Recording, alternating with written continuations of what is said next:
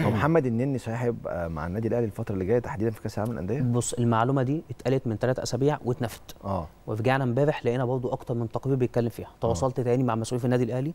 مفيش أي مفاوضات مع محمد النني مفيش أي اتصالات. وللأسف برضو اتكتب إن النني آه، عارض نفسه على النادي الأهلي وإن هو كلم حد في لجنة التخطيط. المعلومة اللي عندي مفيش أي حاجة خالص النني مكمل بره ومش هيرجع النادي الأهلي دلوقتي خالص. كندوسي راجع؟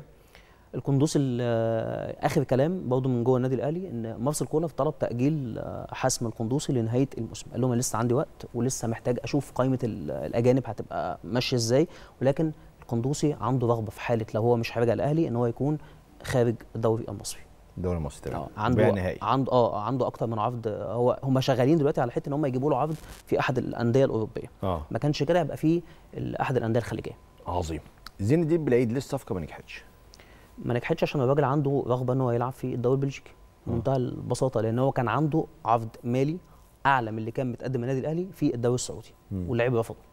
وتمسك إن هو يكون موجود في الدوري البلجيكي. في ناس وعايز أقول لك على معلومة برضه عشان قصة القندوسي واتقال إن القندوسي تدخل عشان آه. خاطر ما يجيش الكلام ده الكلام ده مش صح تماما. عايز أقول لك القندوسي كان يعني بيضغط على زين الدين بالعيد إن هو لازم يكون موجود معاه في الأهلي وإن هو السنة الجاية القندوسي راجع وإن هم الاثنين هيبقوا موجودين في جوه النادي الأهلي وهياخدوا شقة هم الاثنين يقعدوا فيها مع بعض ويستقروا جوه جوه القاهرة.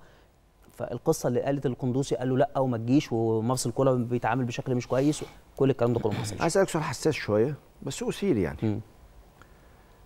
أمير توفيق له علاقة بفشل صفقة بالعيد وهقول شهادة يعني.